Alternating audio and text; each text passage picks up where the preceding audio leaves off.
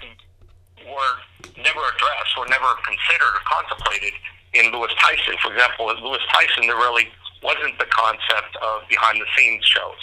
Um, so that's an element that has obviously you know come up in the meantime. So um, not only are there differences you know in the companies and and in sort of the business objectives between now and then, there are some elements of the business that have changed as well. And one other thing, uh, is there any point that either of you can sort of point to during the negotiations where either of you felt that you know things had kind of turned the corner? Uh, anything that you look back to?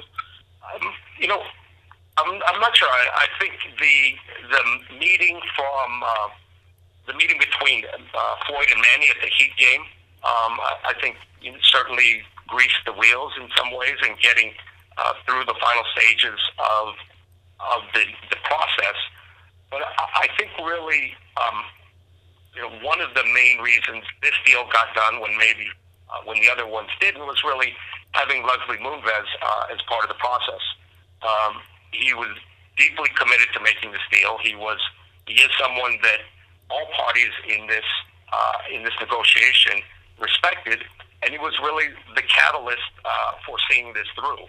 Um, really refused to take uh, no for an answer from any side, um, and really was there um, making sure that the parties came together uh, in a successful and a cooperative manner.